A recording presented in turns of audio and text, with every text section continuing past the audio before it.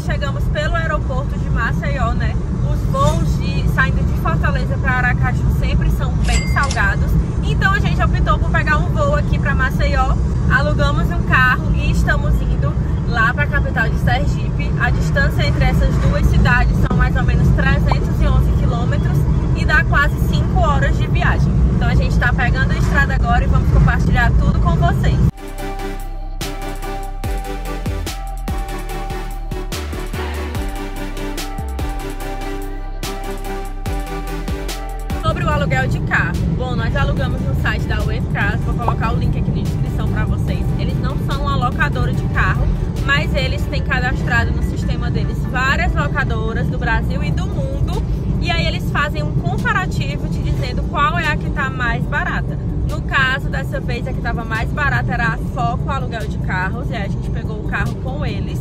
Mas vale muito a pena, sempre que você for viajar, coloca lá o seu destino e ele vai te dar várias opções de locadoras e é super bacana é, reservar por lá, eu super recomendo. E ainda tem forma de você acumular também cashback.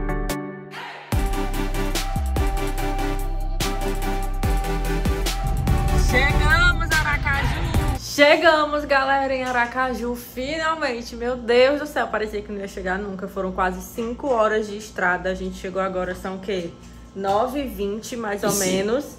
9h25, o César tá dizendo aqui, ó, também o Pop veio dirigindo, tá descansando. Mas são 9h25, a gente vai correr pra tomar um banho e ir no restaurante que tem aqui, que é um restaurante e casa de forró, que é super tradicional aqui em Aracaju. E como a gente vai ficar só uma noite aqui, a gente quer é, aproveitar para poder conhecer.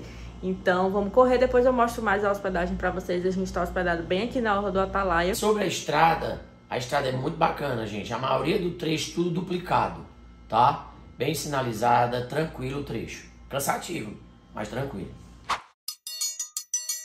Fomos na tradicional Casa de Forró Cariri, que é referência em todo o Nordeste quando o assunto é estilo musical. A casa é uma experiência imperdível para quem quer provar os sabores e ritmos autênticos de Aracaju em um clima bem descontraído. A decoração do restaurante é um espetáculo à parte e chama muito a atenção pelas suas cores vibrantes e artesanatos que retratam o folclore e a cultura popular nordestina.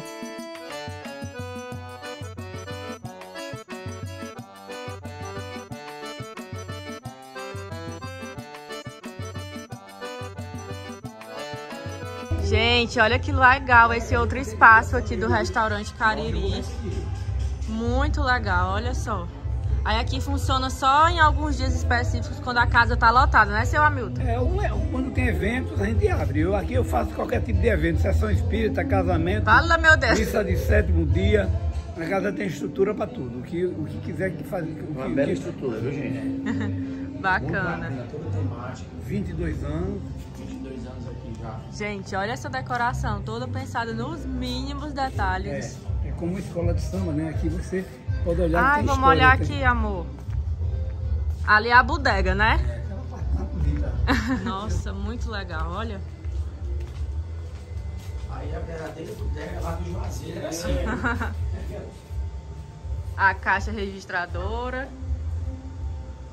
Tu vai pedir o que, amor, aí nessa bodega? Olha, gente, cachaça zona daquelas ali antigas, ó. Pitu. E a Paticício, lá da terra do Padrinho Paticício, olha aí.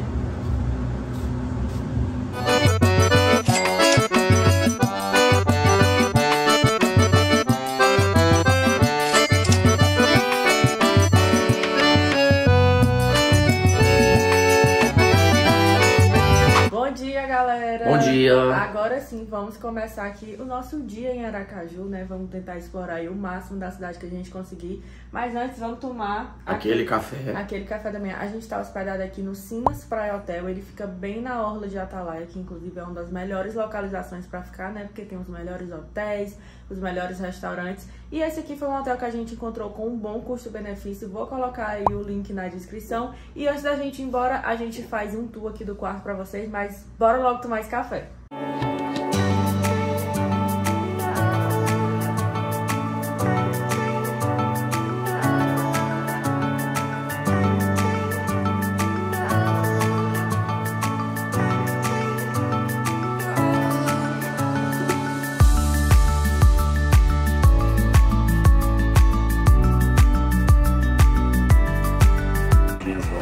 fresquinhas, tapioquinha, queijo, ovo mexido, salada.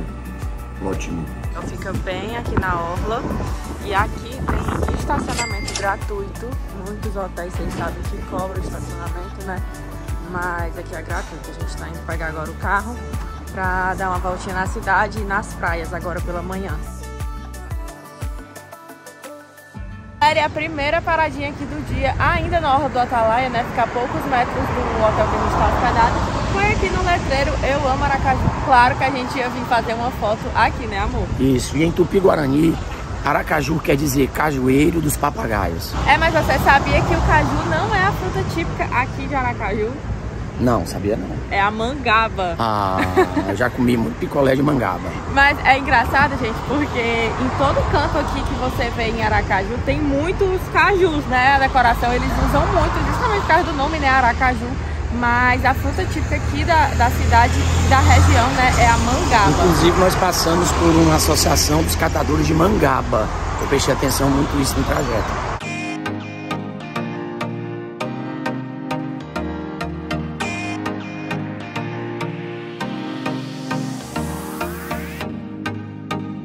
Uma coisa que a gente só descobriu quando chegou aqui em Aracaju. Que a cidade é a terra do caranguejo. Olha e só. não do caju. Olha só, tem um caranguejo gigante aqui. É uma passarela do caranguejo é, que a galera construiu para lembrar que a cidade é a terra do caranguejo. Né? E aqui fica a praia de Atalaia, que é uma das praias mais famosas aqui em Aracaju. Olha só, você faz só essa caminhadinha aqui e já chega Lá na praia tem algumas barraquinhas por lá. Gente, olha só quanto é um coco aqui na orla. 6 reais, água de coco gelada. Quanto é lá em Fortaleza, amor? 2,50, lá perto de casa às vezes dá 1,50. Mas lá na beira-mar, lá na beira-mar.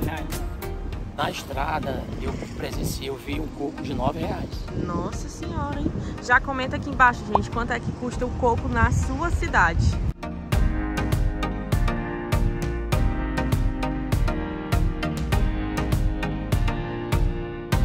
Galera, viemos agora num local bem bacana que também vale a pena você incluir no seu roteiro aqui em Aracaju, que é a Orla Pôr do Sol. E como o nome já diz, o pôr do sol daqui dizem que é muito bonito, já vi fotos e realmente vale muito a pena. A gente veio mais cedo, né, porque como a gente não vai conseguir ficar até o final da tarde para assistir o pôr do sol mesmo, é, a gente veio mais cedo para poder mostrar para vocês também esse lugar. E aqui também saem os passeios para a Croa do Goré. Isso aí, o passeio leva para a Croa do Goré e Ilha dos Namorados, né, que é um banco de areia bem legal para você fazer. O passeio sai daqui de catamarã, de mas também, também, não vai dar tempo a gente fazer, né, porque recomendo para quem tem pelo menos dois dias aqui em Aracaju, porque é um passeio que leva aí o dia todo. No Pôr do Sol também tem algumas opções de restaurantes, de bares, tem esse aqui, Bar do tem outro lá atrás também. E é bacana porque as cadeirinhas ficam ali pegando na orla, então você tem uma vista bem legal. Bem na cadeira na sombra também. E aqui é onde fica é, o embarque, né, para você comprar o seu ticket para fazer o passeio de lancha ou de catamarã. Aqui também tem algumas barraquinhas vendendo água de coco, um refrigerante. Também tem ali vendendo cangas, chapéus. Então é bem bacana aqui para você vir no final da tarde, assistir o pôr do sol ou até mesmo para poder fazer o embarque dos passeios. Gente, os passeios que saem aqui da Orla Pôr do Sol é para essa Croa do Goré, que é bem famoso. Aí o passeio para Croa do Goré e Ilha dos Namorados juntos dá 120 no dinheiro, 130 no cartão. E pra, só para Croa do Goré tá 50 no dinheiro, 55 no cartão. Aí esse para Croa do Goré você vai de lancha e o que é os dois, né, Ilha dos Namorados e Croa do Goré, você vai de catamarã.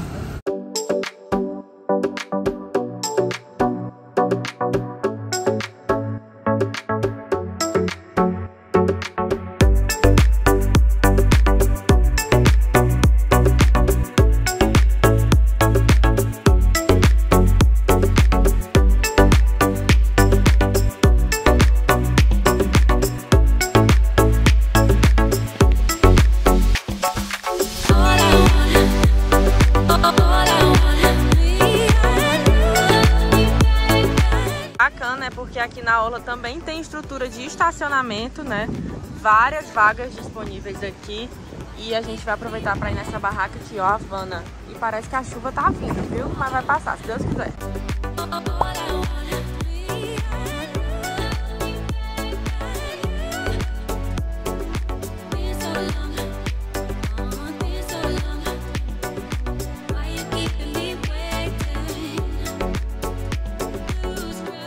Que aqui é a terra do caranguejo, eu não poderia sair daqui sem experimentar o caranguejo de Aracaju, né?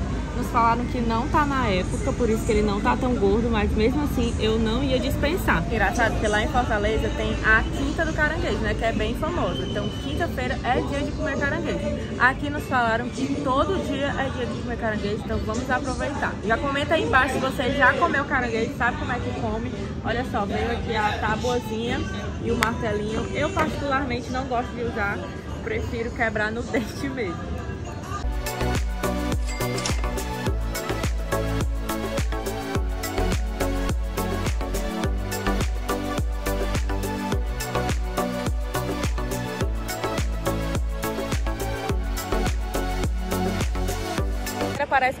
Virou aqui em Aracaju. Olha só essa nuvem de chuva que tá vindo. Já passou uma nesse instante, deu só uns pinguinhos. Mas acho que essa aqui também vai passar. Se Deus quiser, não vai chover. E aí eu tô vindo aqui perto do mar pra mostrar pra vocês. Essa aqui é a praia de Aruana. Ela fica do lado da praia de Atalaia, né? Que é onde a gente tá hospedado. Na verdade, as praias aqui são todas emendadas umas nas outras, sabe? É tudo colado. É, e eu tava até conversando com o César que aqui me lembrou muito a beira-mar, uma mistura com a beira-mar de Fortaleza com a Praia do Futuro, sabe? Porque é uma orla assim gigantesca, com uma estrutura muito boa. Nos falaram que foi reformado recentemente. E aí tem várias barracas né, no caminho, com muita estrutura. É tudo muito organizado. Aracaju me surpreendeu muito. O mar aqui aparentemente é bem calminho, tem poucas ondas. Olha só, água clarinha também. E a temperatura perfeita, né? Padrão Nordeste.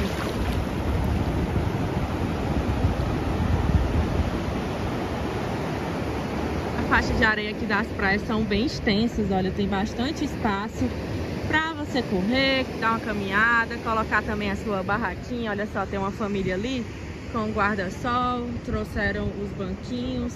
Então, assim, muito legal. Aracaju tá surpreendendo demais, hein? Porque eu tô amando a cidade, amei as praias daqui, são bem tranquilas, bem vazias. Nossa, amei.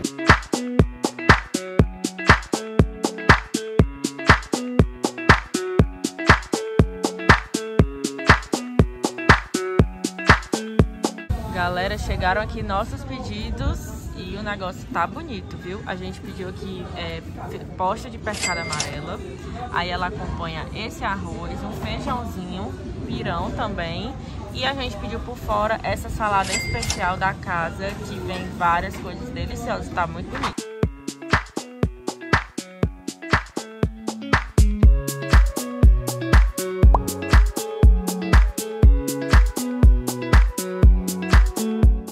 Aracaju projeto Tamar. Olha só que legal. A gente já foi para um desses lá na Praia do Forte, na Bahia, né? E é bem bacana de visitar. Gente, aqui em Aracaju tem um estacionamento que é só para motorhome. E o César quis vir porque quis vir aqui só para dar uma voltinha e o que, amor, que tu disse? Ver os modelos aí, é sonho, planejamento, né? Ai, meu Deus, esse meu marido. Olha só, tem várias.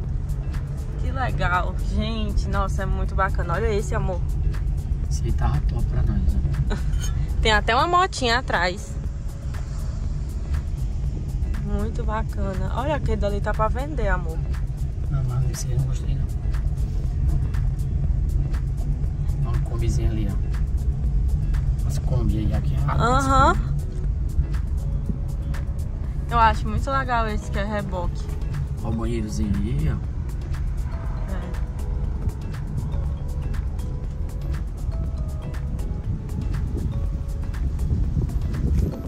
Esse já é bem maior, um ônibus, ó. Placa ah. solar em cima. Gente, vocês teriam coragem de morar em um motorhome, morar numa Kombi? Eu e o César, a gente tem vontade de passar uma temporada, né, amor? Sim, uma temporada fazer uma viagem assim grande e ficar dentro de um motorhome. Deve ser uma experiência massa. Esse aqui é o meu, eu vou comprar esse aí. Nossa, amor, logo uma. Esse aqui, ó. Ah, tá. Que é o que eu achei bonito. Nossa, esse aí é um sonho, gente. A estrutura é muito boa. Ah, ela... olha, tem um adesivo de Urubici. Na Patagônia também tem um adesivo. Ah, esse aqui também é perambulando.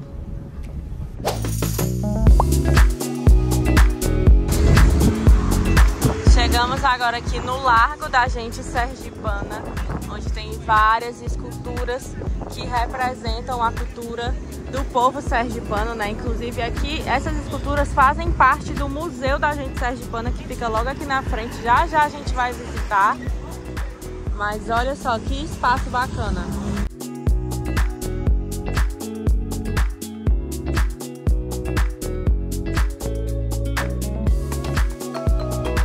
Agora vamos conhecer o Museu da Gente Sergipana. Vamos lá?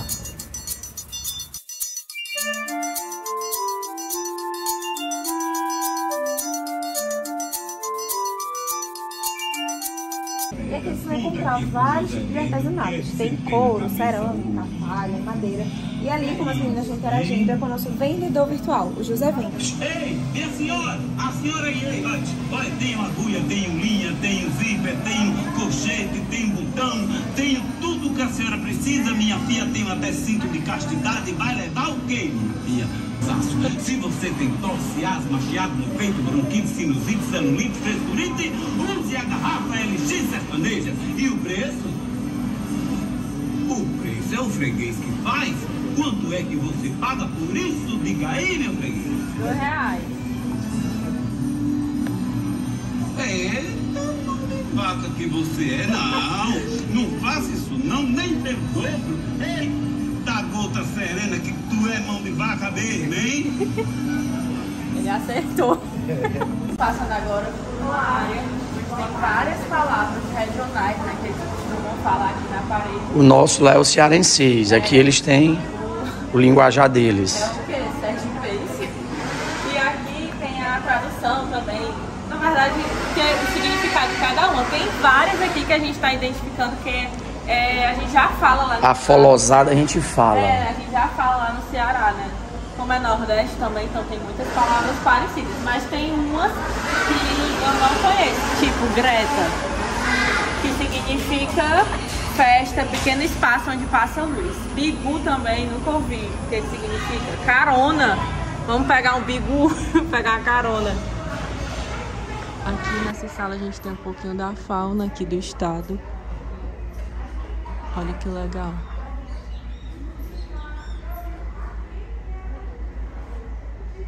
Gente, olha que legal esse espaço aqui que tem, que você senta tipo imitando um barquinho, né? E aí vão passando imagens nas paredes. Nesse caso agora tá passando imagens do Rio São Francisco, então você tá se sentindo como se estivesse no Rio São Francisco. Opa, vai trocar. Manguezal, manguezal. Agora a gente tá no Manguezal. Tá, a sensação que a gente tem é como se realmente o barquinho que a gente tá estivesse andando. Inclusive eu estou ficando tonta, eu tenho labirintite. E aí tá me dando assim nervoso. Mas é muito legal, muito legal. Você se sente como se realmente estivesse fazendo um passeio de barco. Vamos agora à parte boa. Olá, bem-vindos. Pratos Aqui típicos. vocês vão preparar pratos de- da culinária sergipana, certo? Com a mão nessa altura, de fora para o meio, joga o ingrediente que vocês acham que pode fazer parte do prato. O que não fizer parte vai retornar. Então, não tenham medo de errar os, pra... de errar os ingredientes. Era porque ela tinha acabado de jogar. Tenta de novo que eu acho que você vai conseguir dessa vez. Não, Bem, porém, agora já tá pronto. Não vai ter mais como tentar a cenoura. Casquinha de aratu vai ser um dos pratos que temos de origem indígena. Primeiro, né, o aratu é um desses caranguejos que pegamos no mangue, é um dos menores, então não dá pra você fazer o prato com apenas um. Tem vários aratus pra poder fazer uma refeição. E caranguejos em geral, que são pegos no mangue, são pratos de origem indígena. São consumidos muito antes da chegada dos portugueses aqui. Vocês podem prová-lo na orla. É fácil de encontrar, não só casquinha, como pastel de aratu. Legal. Olha esse espaço aqui. Todo fez parte da minha infância com esses objetos. O pilão, minha mãe fazia a paçoca, o pote, o fogão a lenha, o coador de café, o tacho, o ralador de milho que ela fazia a canjiquinha e o ablamador do fogo. Minha mãe tinha tudo isso aqui. E o filtro de vela, que a gente lavava ele com um pouquinho de sal e açúcar. Esse aí eu também peguei.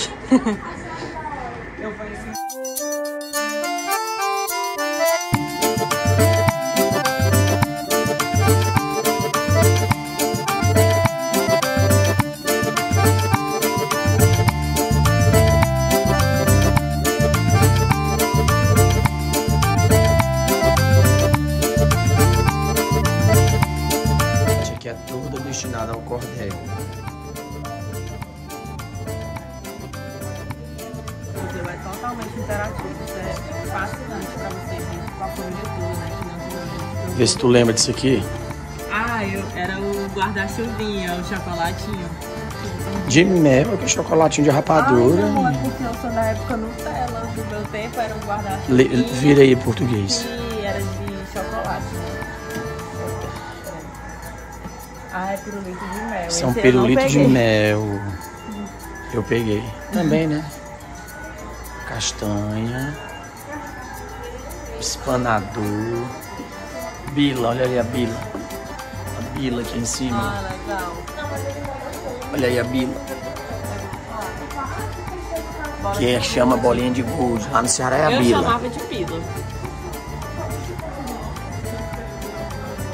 Pião. Pião também, olha aqui, que top. Amor, esse aqui tem minha cara, esse aqui. Molho de pimenta.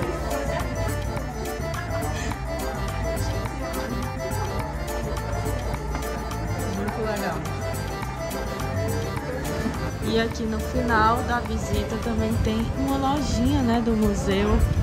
A gente tem vários é, artesanatos, esculturas que lembram a cultura local. Aqui em frente ao museu a gente tem uma estátua de Maria Feliciana, que ela foi considerada por muitos anos como a mulher mais alta do Brasil. Ela tinha 2 metros e 25, gente. Olha isso. Gigante, quase o dobro da minha altura. Uma visita a uma cidade só é completa se a gente visitar o mercado, que é uma coisa que a gente adora. A gente veio agora aqui no mercado de Aracaju, que na verdade ele se divide em três, porque tem mercado de artesanato, tem mercado de frutas, tem mercado de peixe, é tudo junto e misturado e a gente vai mostrar um pouquinho pra vocês.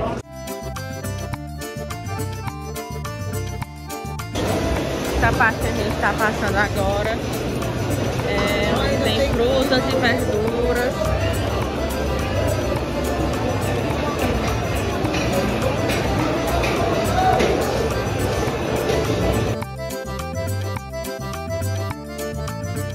Aqui já é a parte do mercado dos peixes, ó, tá bem lotado. Olha aí, amor, as panelas. Lindas. Olha aí, que lindo, amor. É top. Guardar a ferramenta.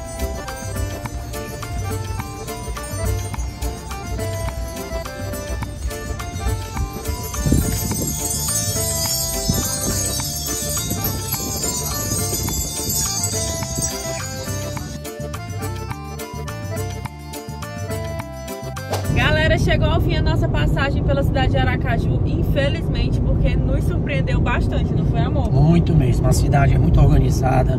A orla toda organizadinha, bonita. com uma estrutura muito bacana. Demais. Infelizmente a gente só tinha um dia, né? Então é muito pouco para tudo que a cidade tem a oferecer. Mas espero que vocês tenham gostado aí desse mini tour que a gente fez. E inclusive agora estamos indo para Piranhas, onde a gente vai fazer base para conhecer os cânions de São Francisco. É, saindo aqui de Aracaju tem passeios, né? Bate e volta para ir conhecer os cânions, mas eu acredito que seja bem cansativo pela distância, né? E indo mais lá fazer o passeio. Então a gente está indo pernoitar por lá na cidade de Piranhas. Vamos fazer passeio dos cânions de São Francisco, vai ter rota do cangaço, vai ter centro histórico de Piranhas, vai ter muito mais para vocês, mas isso será no próximo vídeo. Então vai lá no nosso canal, se inscreve, ativa o sininho e curte os nossos vídeos. Já comenta aqui embaixo o que, que você achou da cidade de Aracaju aí pelas imagens que vocês viram, se imaginavam que a cidade era desse jeito, enfim, comenta aqui embaixo. E é isso, espero vocês nos próximos vídeos. Até a próxima! Tchau, tchau.